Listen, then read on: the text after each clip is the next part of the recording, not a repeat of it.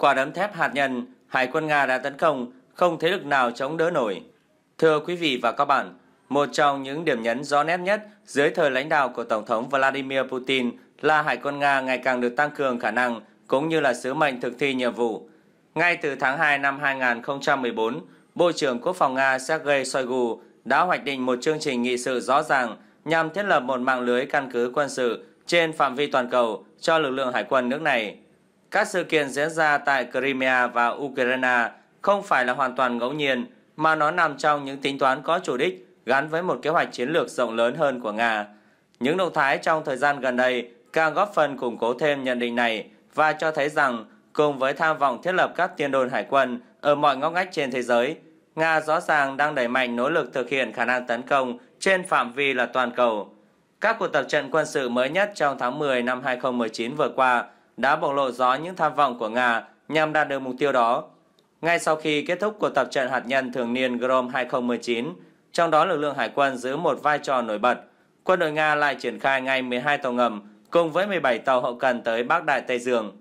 Vị trí cũng như quy mô của đội hình tham gia cuộc tập trận thứ hai cho thấy rõ ý định thực hành các đòn tấn công hạt nhân vào Bắc Mỹ hoặc là huấn luyện đánh chặn các lực lượng hải quân liên minh hay là các vụ tấn công vào những tuyến đường vận tải trên biển. Lực lượng này cũng lần đầu tiên được triển khai tới biển Baren và biển Na Uy. Điều đó cho thấy rằng hạm đội biển Bắc hiện nay đóng một vai trò nòng cốt trong các kế hoạch quân sự của Nga. Vào tháng 9 năm 2019, lần đầu tiên Hải quân Nga xác nhận đã phóng tên lửa hành trình siêu thành có khả năng mang theo đầu đạn hạt nhân từ hệ thống phòng thủ Bastion nằm trên mặt đất sau khi nó đã triển khai trong khoảng 10 năm nay. Tầm bắn của tên lửa này vào khoảng 600 km. Rõ ràng là các kịch bản hạt nhân đã được Nga tính toán trong những hoạt động gần đây. Hải quân nước này hiện nay đang có kế hoạch đóng các tàu ngầm mới theo dự án là 636.3, trang bị tên lửa hành trình Khalib lưỡng dùng để biên chế cho hạm đội Baltic. Lực lượng cho tới nay vẫn là hạm đội phi hạt nhân. Hạm đội Biển Đen cũng tương tự như vậy. Cho tới thời điểm hiện tại thì vẫn là lực lượng hải quân phi hạt nhân. Thế nhưng các máy bay ném bom chiến lược Tu-22M3 đã tiến hành các sứ mệnh tuần tra trên không phận quốc tế tại Biển Đen. Một tín hiệu rõ ràng là ám chỉ Nga coi khu vực này hoàn toàn nằm trong quyền quản lý riêng của họ. Vào tháng trước, lần đầu tiên Nga đã phóng thử thành công tên lửa đạn đạo Bulava từ một trong những chiếc tàu ngầm lớp mới là Borei. Ngay cả khi mà Bulava chỉ có thể như những gì báo chí đưa tin là phóng từ Tây sang Đông, thì cuộc thử nghiệm thành công cũng là thông điệp để thể hiện cho các đối thủ bên ngoài thấy khả năng hạt nhân của Hải quân Nga. Bên cạnh đó, Moscow cũng đã tăng cường tiến hành các cuộc tập trận và huấn luyện bên ngoài lãnh thổ nước Nga nhằm đẩy mạnh khả năng hiệp đồng tác chiến. Các lực lượng vũ trang Nga gần đây đã thực hiện các cuộc tập trận phối hợp không quân và hải quân tại phía đông Địa Trung Hải.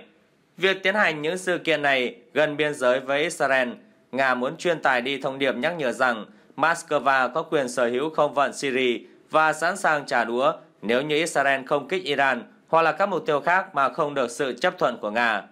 Trung Đông không phải là một khu vực duy nhất mà Moscow tìm cách khuếch trương sức mạnh. Venezuela đã chào mời Nga mở một căn cứ không quân và hải quân tại Lao China.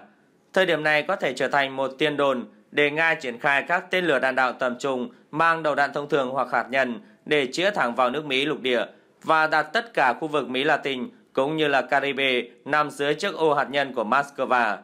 Tương tự như vậy, Moscow cũng đang theo đuổi kế hoạch thiết lập các căn cứ không quân, hải quân và lục quân ở trong và xung quanh châu Phi.